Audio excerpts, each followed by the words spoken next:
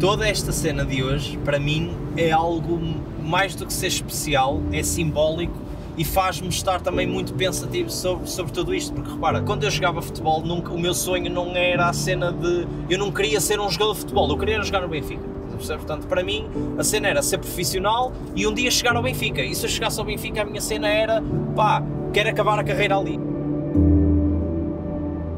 Vivi muito Benfica em criança, quando era mais novo, vim ao estádio, a cheguei ao antigo estádio, agora no novo estádio já vim dezenas e dezenas e dezenas de vezes e vivi sempre o Benfica de uma forma muito apaixonada. Eu sempre passo aqui, é sempre aquela cena.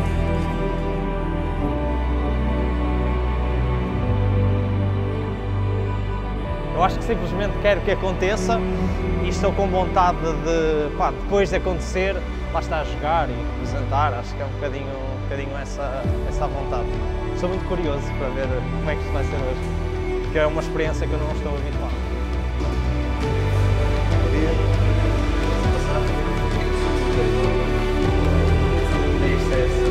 Eu não vinha sempre ao Estado da Luz, eu não podia vir sempre porque era de longe, portanto quando vinha era algo muito especial, porque eu sabia que era rara a possibilidade de, de poder vir. Eu vim muitas vezes, mas não vim tantas vezes quanto gostava de, de ter vindo, não é? Portanto, uh, existia sempre essa coisa de, uh, sempre que vinha aqui a Lisboa era super especial porque era um jogo de Benfica, ou seja, era a possibilidade de, de ver o meu clube ao vivo, uh, portanto, acho que isso também ajudou essa distância a criar uma relação e uma ligação com o clube ainda maior. E, portanto, para mim nunca houve muito esse problema de eu ser do Norte e ser benfiquista, porque acho que isso me ajudou a, a gostar ainda mais do clube e sentir-me ligado ao clube. Para mim, isto é, é muito mais uma questão sentimental do que qualquer outra coisa. Uh, eu olho para o competitivo como, e para esta questão do Benfica como algo sentimental, dizer quero ter isto na minha vida, quero ter isto como recordação, muito mais do que qualquer outra coisa. Pudesse perder, pudesse ganhar, eu viria para aqui simplesmente pela possibilidade de dizer que joguei pelo Benfica.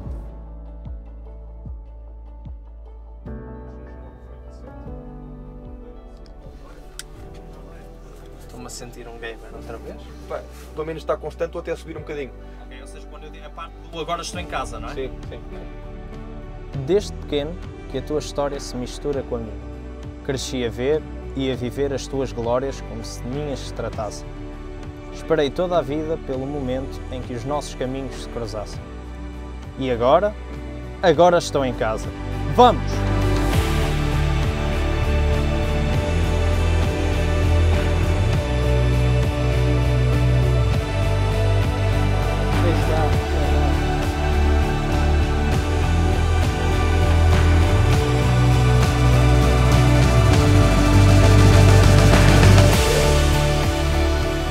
Cabeça, eu sempre imaginei com aquilo que estou a viver hoje no maior dos meus sonhos como jogador da bola.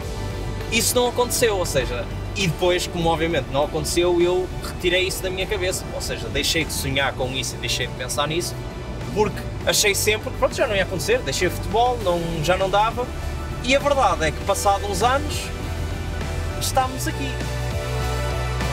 Estou a tentar perceber um bocadinho que é que um gajo está aqui. Ver isto tudo assim à volta é surreal. O impacto disto, eu não me quero imaginar o que é um jogo de estádio cheio aqui embaixo. Vou ter um dia em que vou poder vestir a camisola, claro que eh, é nos esportes, é no FIFA competitivo, não é neste caso eh, no futebol, e o FIFA é uma modalidade muitíssimo mais pequena quando comparada com o futebol, mas é representar o Benfica, é uma oportunidade de representar o Benfica. Daqui a 10, 15, 20, 30 anos vou sempre dizer isto com orgulho. Olha, vesti a camisola do Benfica, representei o Benfica, tive a oportunidade de competir pelo Benfica